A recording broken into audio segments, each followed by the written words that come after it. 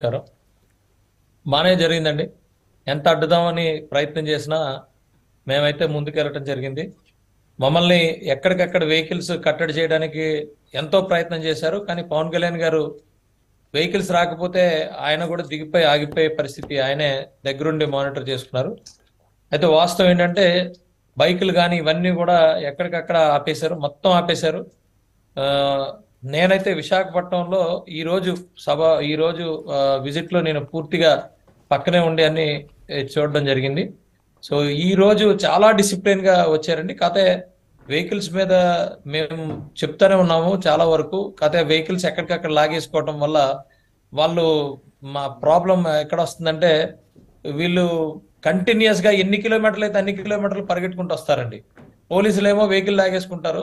Vehicle పక్కన పడేసినా కూడా వాళ్ళు అలా వెనకాతలు పరిగెట్టుకుంటూ వస్తారు.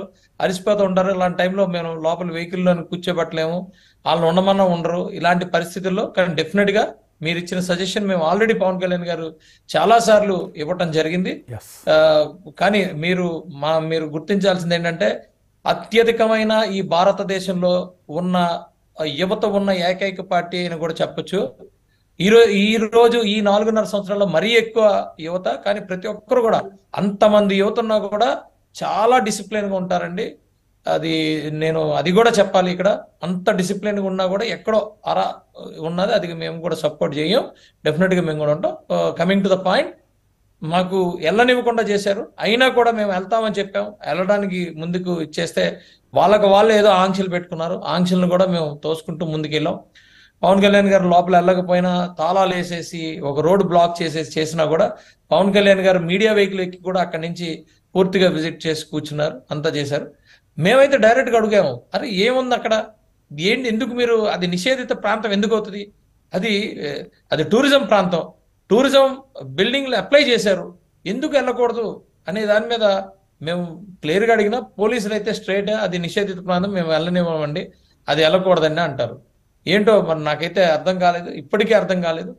ఈ ఇది ఏంటో ఈ గండికోట రహస్యం ఏంటో నా అంటే భారతదేశంలో ఏ ప్రజాస్వామ్య దేశంలో అయినా సరే ప్రజలకు సంబంధించిన ఆస్తి మేబీ కన్స్ట్రక్షన్లో ఉన్నప్పుడు అండర్ కన్స్ట్రక్షన్లో ఉన్నప్పుడు వెళ్ళడానికి లేదు. ఈ రోజు అండర్ కన్స్ట్రక్షన్ అయిపోయింది సివిల్ అంతా అయిపోయింది.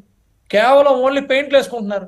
పెయింట్లు వేసుకున్న టైంలో కూడా వెళ్ళనివ్వకపోతే ఇంకేది ఇది దారుణమైన పరిస్థితి. లేదా చెప్పమనండి ఆ స్లోప్ కటింగ్స్లో వాళ్ళు డీవియేషన్ యాజ్ నార్మల్గా అయితే one is to one point five slope cut చేస్తారు.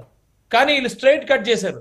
డెఫినెట్గా ఎస్ రిస్కే ఎప్పటికైనా రిస్కే అక్కడ ఉన్న వాళ్ళు ఎవరికైనా రిస్కే అయినా కూడా వాళ్ళ ఇష్టానుసారంగా అక్కడ మరి ఆ- ఆ టైప్లో అయితే అసలు అక్కడ రైట్ విజయ్ కుమార్ గారు మళ్ళీ మీ దగ్గరికి వస్తా. కానీ ఒకటి కంగ్రాచులేషన్స్ మీరు ఇవాళ ఋషికొండ